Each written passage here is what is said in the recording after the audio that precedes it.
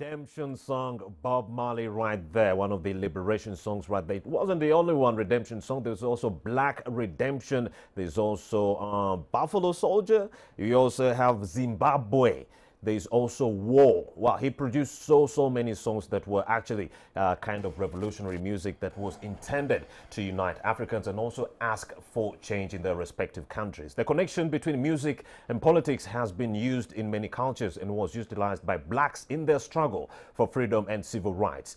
Music has been used by Africans over the course of history to express feelings of struggle and hope, as well as to gather feelings of solidarity for their freedom struggle. Africans have used music as a way to express their struggle for freedom and equality, which has spanned the history of the world and resulted in the creation and polarization of many music genres, including jazz, funk, disco, rap, and hip hop, not forgetting reggae. Many of these songs and artists played pivotal roles in generating support for the civil rights movement in the, uh, was it the North, uh, North American uh, civil rights movement? Mm -hmm. Yes, that was back in the day. And also uh, the civil rights movement in the 1960s. Well, in Uganda right here, the NRA, which will be celebrating the day it captured uh, this Sunday, that is on January 26th, used music to energize troops and win hearts. And today, together with our arts panelist, Andrew Kagwa, we are trying to discuss the thematic music these movements have used and why it matters so much. From America to Venezuela to South Africa to Luwero. That's the conversation. Welcome, Mr. Kagwa. Yeah, welcome. Let's talk about the significance of, of, of music when it comes to liberation struggles. Uh, I think the very first thing I would say is one of those things I usually tell people mm. that they get tired of it. Like art is the way of life, uh, and it's usually the cheapest way to energize people. So when it comes to music, music hits the core. Mus music mm. speaks to people. Mm like music is a language itself. It doesn't even have to be Luganda or English or anything. It's just mm -hmm. a vibe in, in its mm -hmm. own way. Like, mm -hmm. uh, you see, when an, when NRA was fighting, there, there, were those times when they had lost people and they would sing about them. There, there is a video I saw, I think it was a documentary done by Frank Walusembi, mm. when he was talking about music. And there, there was that part where they were singing about Comrade Mutebi, Comrade who, the people mm, that they yeah. had lost mm. when they were fighting. And then they would sing about the good points, the, the good things mm. that were coming to them. And then there were those times they would even jubilate about, say, winning mm. over some people or winning over a district -hmm. or mm-hmm. something. So music is that, music and art generally mm. are those things that we usually stay with. They energize us like it's a way of life, as I usually say it. Well, not only Uganda music has played a pivotal role, and many historians are saying that actually, according to history, it proves that actually music is indispensable as money when it comes to war. Yeah, yeah, that, that's so true. Uh, you see, in Uganda, in Uganda, way before mm -hmm. these modern times, uh, stories have been told of how Baganda used to sing about Endagano Yorenda even mm -hmm. when mm-hmm. they did not know mm -hmm. much about mm -hmm. it. But you know that that was just maybe a current affair that they mm-hmm. sang about. But then there was something they sang about and really wanted to achieve.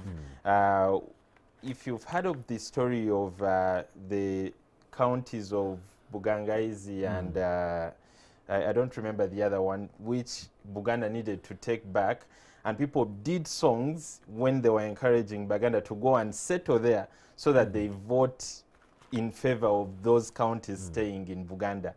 And then, of course, uh, you can go to South Africa where you've seen songs like Shosholoza, mm. I don't know if that's how they say it, -hmm. were used during apartheid. Like, it's like they could not even go on for, a, for an entire meeting without mm mm. doing one of these songs. Then mm. you have the black movement where they did songs like We Shall Overcome. We Shall Overcome. Like, like music, music has been around struggles mm and you always need music around struggle mm because it's usually that one thing that someone usually jumps onto and whether it's in the language they mm -hmm. understand or not, mm -hmm. they usually feel like they connect with the message. Mm -hmm. And Bob Marley on one of his concerts did bring two very pertinent and uh, very, very pertinent politicians. That is Michael Manley and Edward Seaga. Yeah. Yes, it brought them together. Can we also replicate that right here in Uganda and use music? Can we actually use music to unite the various political Ah, facets in the Jesus country and bring about unity? That, that's a conversation in itself. Music like, was a very, very good unifying factor, I'm telling you. The North Carolina uh, movement, uh, the civil rights movement in the 1960s, you talked about South Africa, Mm-hmm. apartheid, Zimbabwe, Chimurenga music. Yes, uh, Thomas Mapfumo was using music to actually call on the parents of the Mm-hmm. various, uh, various parents in Zimbabwe to actually let their children join the struggle. Mm-hmm. It was very hard for the mothers to see their children go, but they actually did that. So the role of music has been very, Uh, very pertinent. to, to, to, to answer the very first question, Mm-hmm. in Uganda, it's, it, it was possible before Bobby Wine. It was very possible because I know uh, there were times I think you could have a Bebe Cool show and you have an opposition politician in, and at the same time you have a politician from the movement, like in the same crowd. Mm-hmm. Uh, there were those days even Bobby Wine used to have it, like politicians just used to love him until he came out to have his own interest, like in this whole thing. Right now, it's so hard to do what Bob Marley pulled off. Why is it so hard?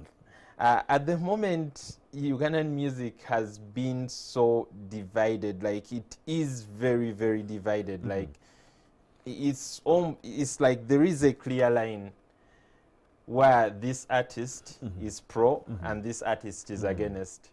So you do not even expect opposition politicians to be in the audience when artist X is singing, and you expect politicians of the opposition to be at to be in the audience mm-hmm. when artist Y mm-hmm. is performing. Mm-hmm. So revolutionary music, it undoubtedly was very impactful back in the day. Is it still impactful as we speak in this modern day? Can you release a protest song and, uh, and it actually uh, influences the public or the society where you live to actually rise up and actually ask for their rights or demand for them? Uh, I think it's so hard to call people to rise up. Say in a country like Uganda, it's so hard to call people to rise up, but somehow people become aware and their approach to mm-hmm. things at times becomes so different. Mm-hmm. It's so hard to call them to rise up. Mm-hmm. Uh, there, there were those days, I think, even mm. even even when it comes to the US, mm. there were those days of the civil rights movement where people actually used to rise up mm. to stand for something. Today, people will react to it. They will try to follow the legal measures to get action, mm-hmm. but not necessarily rise up in a way. But they will mm-hmm. still ask for action. Mm-hmm. In Uganda, it's a different story. But in the US, people have been using music. I, I, I still, I'm one of those people that believe music was one of the biggest tools that brought Barack Obama into power. I agree. I agree on that one. Yes.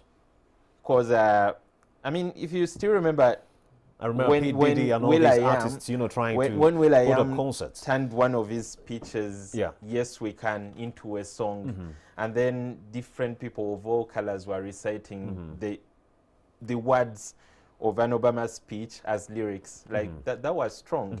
Uh, when you look at uh, Still Will I Am, a project Will I Am was involved in. Uh, where is the love? When they re- decided to reenact it, Mm-hmm. uh, okay, that that didn't really work because it felt like they were trying to ask people not to trump yeah, yeah. USA, but in the end, people trumped Yeah. USA. Uh, like very many people have been doing songs even now. So, mm, But- yeah. Mm. So let's talk no- about the generation that actually wa- ushered in Will I Am, Mm-hmm. P. Diddy, and all these other artists. The generation that came around the 1960s, right there at the height of the civil rights movement. Mm-hmm. So 20 years later, around the 1980s, the civil rights movement started to dwindle a little bit. So that's when the black, uh, young black men came out and decided that they, they had to express themselves uh, th- through music like funk, you remember, through uh, disco, through uh, hip hop. Mm-hmm. like that's when hip hop actually- came out. And they were using that music to actually talk about not only the issue of uh, racial discrimination, but the fact that they were unemployed and they were actually going through so, so many hurdles. Can are we see, are we still seeing the same in this modern day? Our, our our artists actually releasing music that is actually talking about the issues affecting society and not just commercialized uh, music. Which artists are we talking about? The Ugandan Eh, ones? no, no, no. In, in general, Uh, in general, music at the moment is so commercialized. Yeah. And uh, that's basically Uganda. I- In Uganda, people are trying to be safe. People are trying to be so safe, so caged, because you want to stay on the right side of the law. Uh, in other markets, music is so commercialized. Okay, w- I would say, with the exception of our friends in the neighborhood in Nairobi or Nairobi, Kenya.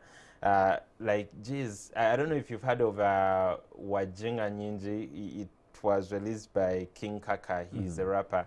And then many people went on releasing like other versions of the song. Hmm. I- It's talking about the ill hmm. in in their politics. Sadly, I do not understand a lot of Swahili, but at least when you watch the video, you you get what he's talking about. Uh, there is Tujiangalie, which was done by Sauti Sol. Hmm. Um, then I think there is Hayawani hmm. by Nyashinski. Hmm. Like all these songs are actually coming from Kenya. In in Uganda, at the moment, it's been literally one person, and in Uganda, it's sad that almost all such conscious music is supposed, not supposed, but it's almost against the government. I, I don't know if it could have been nice if we mm. had some that was maybe mm. saying something mm. that's like for them, even if it's not asking people to support or anything. But so the music appears to be against the government, but it's not really against the government. It's just uh, talking about social yeah, issues like this and that. social The price of sugar is up. The fuel we cannot afford. Such issues right there. But then you, you also say that there's only one artist that is that is actually doing this, which Uh, could be when, when Bobby it comes to Uganda, it's it's almost So why is conscious music dying? There is there are people that are doing conscious music but are not getting airplay. Uh, simply because either they are very poetic and we do not want to be overly artistic, or either they are not as famous as the big artists we have. Uh, and at the moment, it's so hard to get airplay when you're not that famous. For other countries like the US, things are just too commercialized. Like your label will ask you to sing a certain way and to sing about a certain message. And that's why some artists have denied or stopped themselves from joining these labels like Kendrick Lamar. You've seen him like continue with his conscious music, taking over from the NWA that was very, very, very, uh, very active in the 1970s and 80s.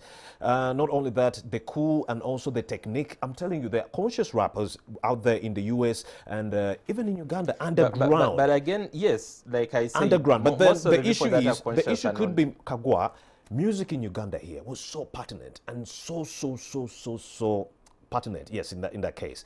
But then, if music was so pertinent and uniting people in the 1980s, why is President Museveni stopping Bobby Wine from doing the same, from carrying on with his concerts? What could be the problem? Because right now people know the power of music. People know the power of art. People know the power of oh. a song on a drum. Like people are very much mm. aware of what a song can do to the mm. masses. Mm. Because I mean, just the other day he was a ghetto man. Like yeah, that guy we saw laughing around and. Yeah, before you knew he took the ghetto to the right place.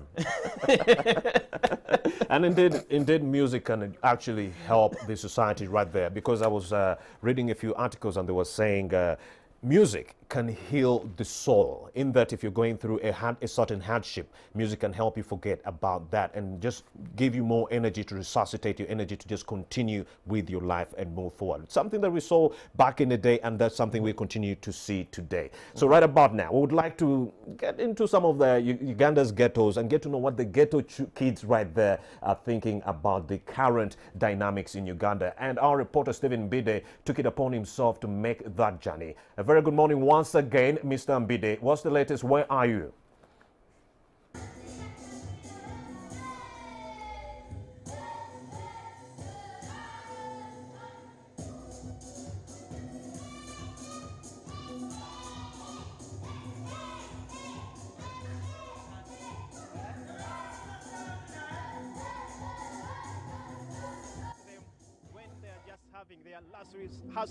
Uh, as they get prepared for uh, this day that is tomorrow. I will be speaking to them about how prepared they are and how, how they are finding life and the journey as they head uh, towards uh, this journey they are on. Now, let me get closer to them.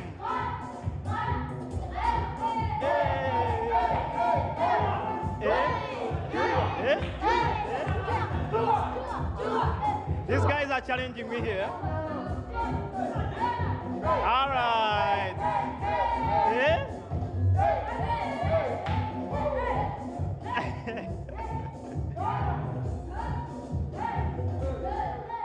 All right. Big up, big up for these guys, the Triplets Ghetto Kids. Uh, how are you today? I'm good. How are you doing? I can say I just bumped into you and you're just getting crazier here, getting ready for tomorrow. Yes, we're very, very ready. Yeah, we're so ready.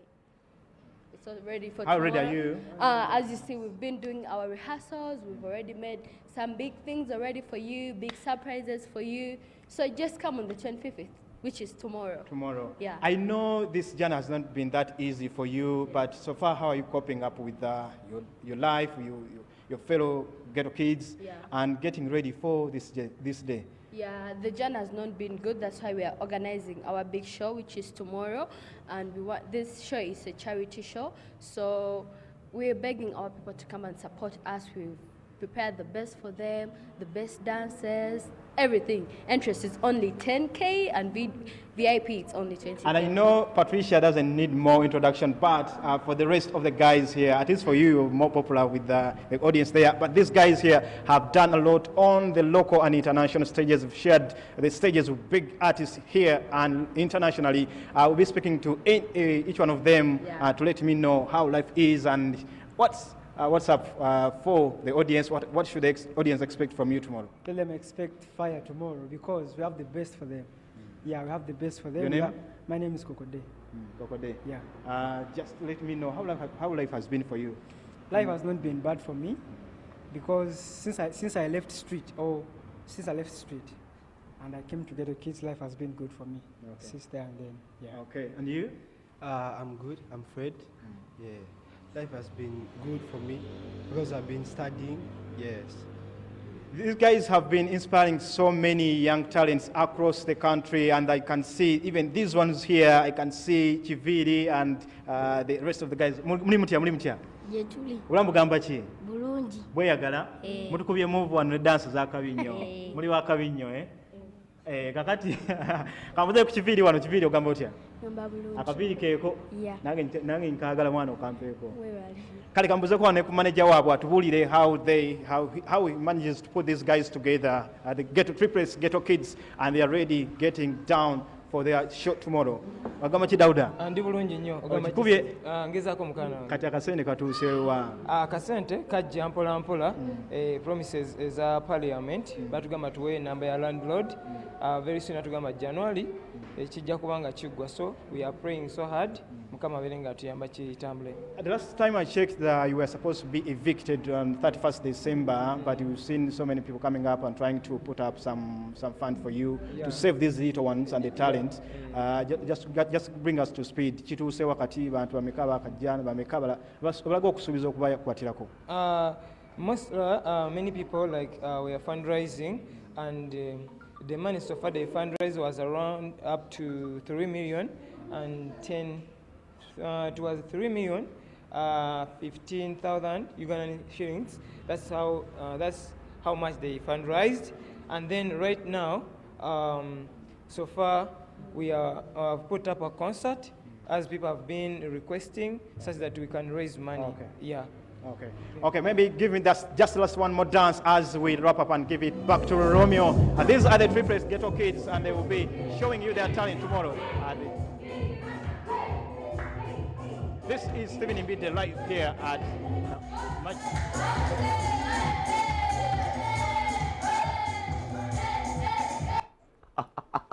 The ghetto kids right there doing what they do best. I really, really love those kids. Yes. and I'm still here with Andrew Kagwa, an arts and culture journalist with the Daily Monitor. We are still talking about something that is related with what the ghetto kids were doing, music, and its role in politics back then and right now. Mr. Kagwa, You're still Yeah. here with me. Yeah. You enjoying the show? Yeah, yeah, I'm liking the show. I'm liking the show. I, I like the topic. Yeah. I'm very passionate about topics surrounding hmm. Uh, music or Mhm. art Mhm. influencing the way things Amazing. are running today. Yeah. Eritrea, it worked uh, amazing for them when uh, Ethiopia had colonized them. They used music uh, using coded messages to actually ins- uh, uh, talk, uh, invite other Eritreans who are also being uh, um, in that same bracket to just rise up and uh, uh, do just that, liberate themselves. But then in Uganda, right here, how best can we promote and preserve the values of conscious music in this polarized political environment?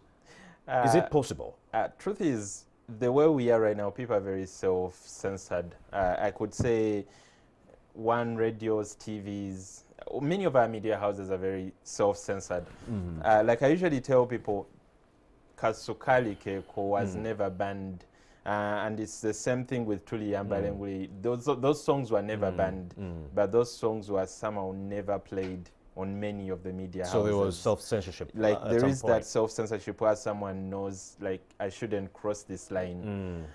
yet when it comes to Mm. the other way around Mm. like people will be like oh yeah they've brought a new song let's play it Actually, But- Andrew, that self-censorship reminds me of the um, the Vietnam War. Yes, the Vietnam War. Hollywood refused to produce any movie. Actually, uh, talk, talking about the Vietnam War or the bad things that were happening in that country. no they, but then they refuse to they lose refuse- in the movies even but they, re- they released after the fall of Saigon. Even media houses they refused totally to even host anyone who was against the Vietnam War. But then guess what the people did? They decided, okay, if the media is not willing to talk about it, we are going to say it through music. Are we still seeing the same in this modern day? yeah we, we, we, we are going to see much of it because we are living in a very free world. We are living in a very open society where people can access a lot of information that has been hidden from them hmm. in a certain way. Hmm. When you when you look at the edge of the internet say songs will be banned hmm. or songs will be censored and they won't be on the media but songs will be on the internet and people will be sharing them. For like like I said earlier, you look at a song like Kasukali, mm. which has not really gotten airplay, and you check it on YouTube and it's doing well. All mm-hmm. people are singing to each and every line of the song. Mm-hmm. I think that's basically the best way of preserving this music. I have a friend who is a poet, mm-hmm. uh, Peter Kagayi, who usually tells me if if you can't get it through the media, publish it in the people's minds. Uh, like he, he recites quite hard hitting poems. And trust me, if you meet a person that is aware of Kagayi's poetry, he will tell you he knows of a, po- of a poem called, say, uh, in 1920, in 1965, or or Yellow Pupu. Like, mm. do, do not ask me anything mm-hmm. more about that mm-hmm. poem. But mm-hmm. yeah, he literally publishes to people's minds by mm. reciting these works. So I think that's the best way you can preserve this music. Just send it to the people's minds if the media is not going to play them. Something to do with hegemony. Let the people decide with the use of ideas. Thank you very much. Andrew Kagwa, an arts and culture journalist with the Daily Monitor, have been having this conversation centered around music and politics from the past and the present. We've been trying to interconnect the two. Why is Bobby Wine so, so, so pertinent when it comes to his conscious music? And why is the government so adamant to let him do just the same? Those are some of the uh, $64,000 questions we've been having here on the show. You can just uh, hit us up on what you think on NTV Uganda on both social media platforms. Right about now, I'd like to link to Mala, who has your birthday messages.